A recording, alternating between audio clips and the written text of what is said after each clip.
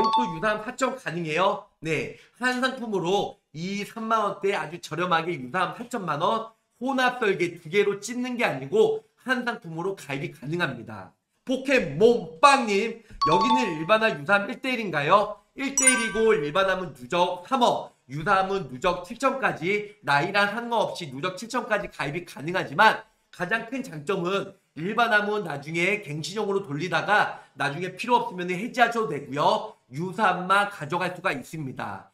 보험료가 2, 3만 원대로 매우 저렴하게 wow. 가입이 가능하다는 부분들.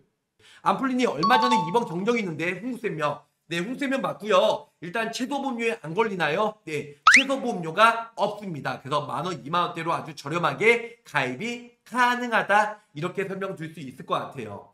그냥 오늘의 핵심 정리를 말씀드리면 일반암 4천만 원, 유사암 4천만 원이면 보험료가 부담되신 분들 일반함이 주 목적이 아니고 유사함만 주 목적이신 분들 어, 일반함은 10년 갱신으로 바꾸면 보험료가 매우 저렴하기 때문에 10년 이후에 일반함이 삭제가 가능하니까 삭제하고 그 다음에 20년 난 100세 만기이기 때문에 10년 이후에 또 유사함도 10년 납입했잖아요. 10년만 뭐 만원대로 보험료 납입하고 보장만 100세까지 충분하게 보장을 받으시면 돼요.